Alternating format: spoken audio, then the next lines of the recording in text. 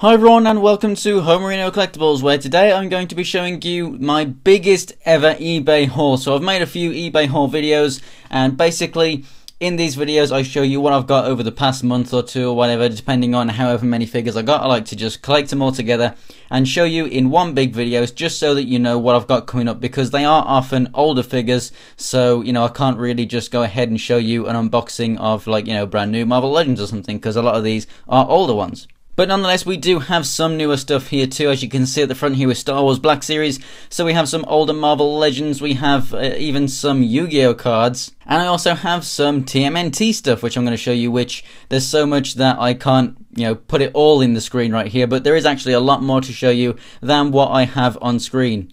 So stay tuned, this is going to be my most exciting eBay haul video yet, so if you like any of this stuff, I will be reviewing the majority of it, so just let me know what you want to see first and I'll go ahead and do that for you. So I'm actually super excited about every single item that I have that I'm going to be showing you today, really really amazing. I actually can't believe that I own now a lot of the stuff that you see in front of you. Uh, you know, I didn't think that I'd be able to, you know, find them on eBay or find them for good prices or whatever, but I have done and they uh, you know, help fill out my collection in so many ways. I am so excited if you can't already tell. So I'm going to start this off with something that is very special to my childhood. It's actually something that I never owned as a kid and I really, really wanted. And uh, basically with the new Yu-Gi-Oh! Uh, Legends of the Duelist game that's out, I've gotten really back into Yu-Gi-Oh! I've started, you know, sorting out my decks and like splitting them up into their several starter packs and stuff and like the ones that I got them in and stuff. Um, as you can see, I've got a couple of box sets of Yu-Gi-Oh! right here. But I also picked up this. This is the 96 uh, Battle City Duel Disk. It's the original Duel Disk. It's all in working order. Uh, I'll show it a bit more closely in a uh, review of it, I guess, if you want to see it. Uh, just because I've got everything else on the table here, I can't really, you know, comprehensively show it you right now. But it's all in working order, and it's just so fantastic. It, it looks awesome when it's on. It's a great cosplay item. Uh, you can also obviously use it for jewels. I'm just got it for a display. I might actually refurb it a little bit because there's a few scratches and stuff. I've got to clean it up. It's pretty dusty. But it's just absolutely fantastic. And like I said, I couldn't have one as a kid, so it's awesome that I get one now. And that's actually the main reason that got me into uh, collecting. Uh, basically, I was really into Transformers as a kid, so pretty much the start of my collection, I started uh, you know, watching reviews on YouTube, you know, watching Optibotimus and Sean Long and stuff, their Transformers uh, reviews, and then it just snowballed from there. Obviously, I started to see what kind of new Transformers were coming out, like in the Generations and Universe and all that kind of stuff, and uh, collecting that stuff then obviously that led on to you know what Marvel figures are out now, and then uh, I found out about Marvel Legends, carried on from there, and then you know snowballed. I thought, hey, I could actually do reviews like these guys because I thought, hey, you know, why not if I'm collecting them all? Why not just do reviews myself? And I thought that some reviewers that I was watching, I could do a better job, or if not as good as them. So I just did it, and here we are today. And that's why I love doing these eBay haul videos, because a lot of them are older figures, so maybe they influence a lot of you guys in the same way that they do for me. To carry on with the theme of Yu-Gi-Oh! Some other cards that I didn't have as part of my collection. Uh, here we have two of the three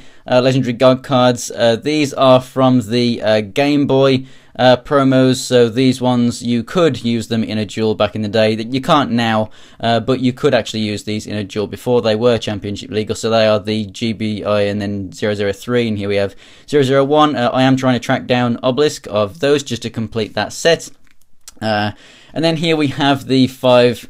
Uh, parts that form the uh, Forbidden One. So really, really awesome to finally have the Exodia cards. Just something that I've always wanted. I did have uh, a couple uh, I think I had the uh, right leg and left arm, but they may or may not have been fake, so I can't really remember to be honest. But now I have the whole set, and that is really, really cool. Also with Yu-Gi-Oh! we have the uh, Legendary Collection. So here we have the first Legendary Collection. This is the Game Board Edition. So it comes with uh, those three God cards, and then it also comes uh, with Blue Eyes, Dark Magician, and the Red Eyes Black Dragon. So that's really, really cool. Here are the booster packs, the uh, original most famous packs. So can't wait to open those. Uh, it's just an absolutely fantastic set. Like I said, it's the game board edition. You could also get a binder set. I just think if anyone is a fan uh, of Yu-Gi-Oh, or maybe you're getting back into it because of the new game, then these two legendary collections are the two that you definitely need to pick up. This one here is the legendary collection number three, Yugi's World.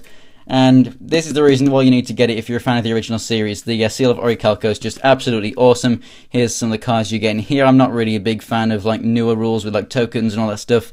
I just like the original stuff. But uh, you know, everything in here, like all the original cards and everything, is just absolutely awesome. So now moving on to Star Wars The Black Series. Here we have the Han in the Stormtrooper uniform, and then here we have uh, the uh, Luke Skywalker in it too. So two figures that are really really cool. Everything here has all the accessories in terms of the Star Wars stuff. So uh, very very cool. So as those two, we have Commander Cody. He also comes with the larger rifle, which I just didn't, uh, you know, move onto the desk for this because it didn't really matter. But very, very cool. New release, and then we have the Emperor himself, Sidious. Absolutely awesome. Uh, kind of disappointed in this figure that you know that gave Yoda his lightsaber, so you could have Episode Three Yoda and then the original trilogy Yoda as well. Whereas with this guy, they've only given him the walking stick. They haven't given him a lightsaber. Very disappointed in that but nonetheless an absolutely fantastic figure and one of the best from the line. And then we have from Wave 1 the uh, Sand Trooper, which is really, really awesome with the orange pauldron, so it's the commander version. Uh, just really, really cool. I do have the regular version of it with the black pauldron, so it's awesome to have this guy. I mean, he's from Wave 1, why not get it? And then something at the back which is absolutely fantastic. I've been trying to track down a Darth Maul ever since he went up in price. I was actually holding off on buying him when he was around about 20 25 pounds, which is just above retail price really when they came out. And uh, I just kept putting it off, putting it off because I was getting you know lots of waves of Marvel Legends and this, that, and the other. Uh, and then all of a sudden they were just nowhere to be found and they were sold at about 60 pounds everywhere uh, you know amazon and ebay and everything. Just couldn't get a hold of one for a decent price anymore. And then i came across this and it's only actually i only got it for a little bit more than that. And it was actually signed uh, at a comic con by ray park himself. And there is the uh, picture of him signing this box. And then there's also his name was spelt wrong because it's Ray Park and they put Ray Parks, but it is actually a certificate of authenticity from uh, Cardiff uh, Comic Con, so that is pretty cool. Uh, in March earlier this year, um, and yeah, I mean, obviously there's going to be more out there like this of him signing it. In fact, this picture uh, blown up because the picture that they actually showed on eBay was actually a few more boxes underneath here, like the original picture that they took before they got it printed out uh, as that photo. Um, but it's just an awesome thing to have, and what's even better is the fact that it is actually open because the seal was already taken off the uh, sellotape means that I don't have any problem in opening this guy up and doing a review and having him on display.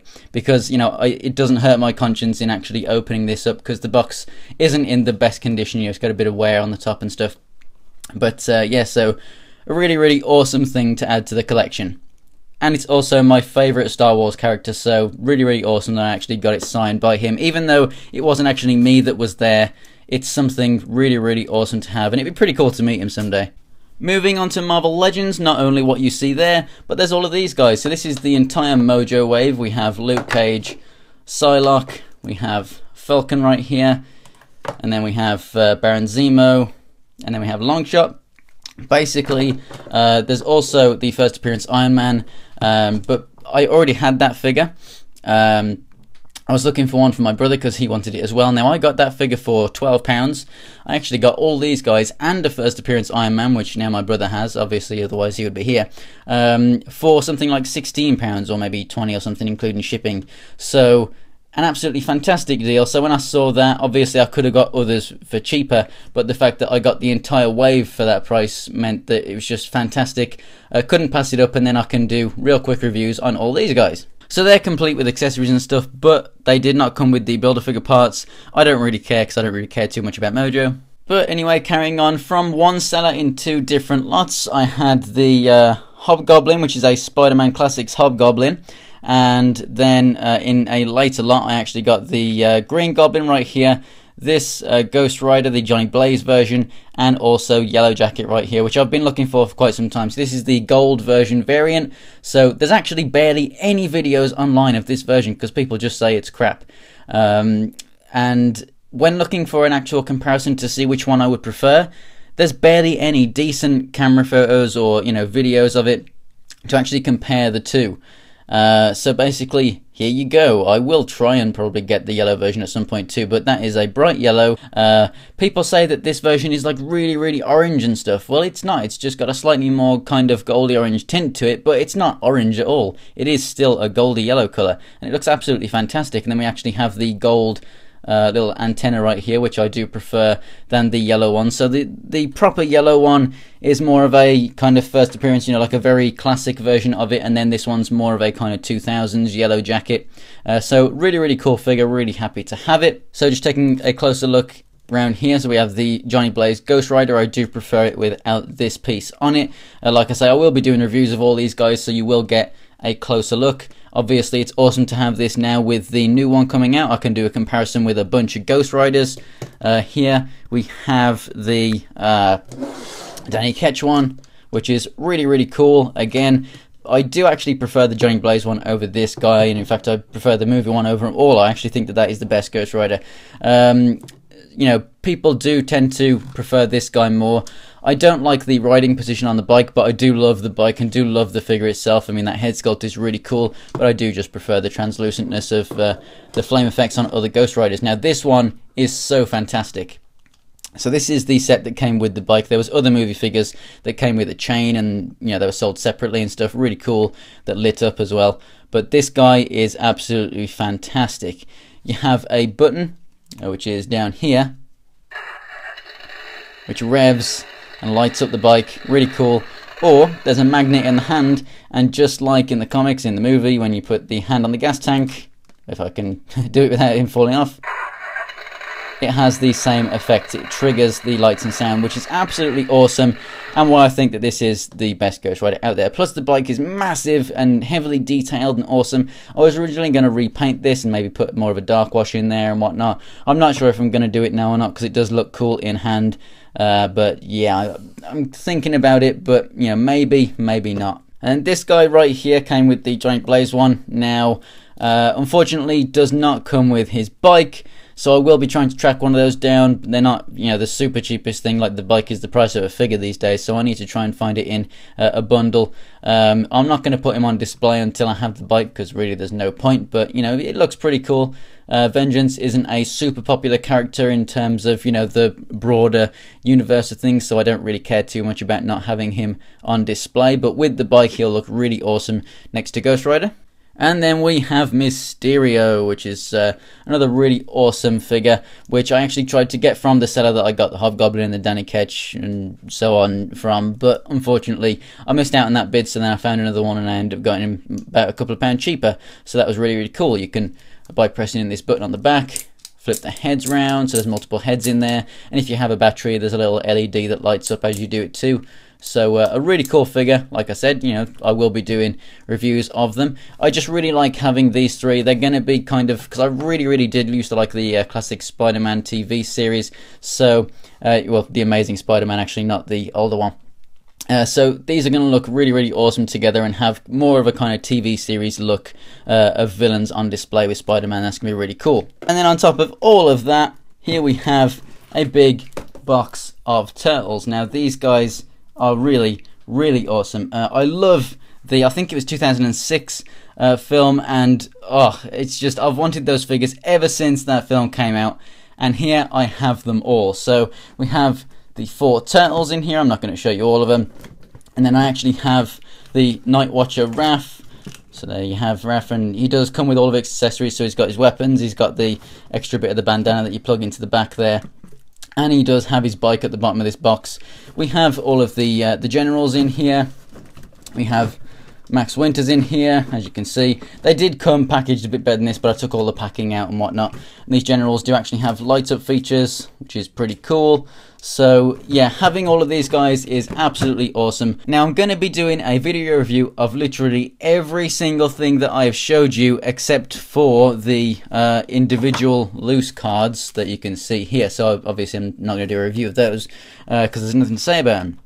But I'm going to do an unboxing of those two uh, Yu-Gi-Oh! Uh, Legendary Collections so that you can see what I get in the booster packs. So if you are into Yu-Gi-Oh! then go ahead and by all means subscribe and you'll see those. And I will be getting more legendary collections and other like uh, booster boxes and stuff and see what we're going to get because I'm really getting back into it.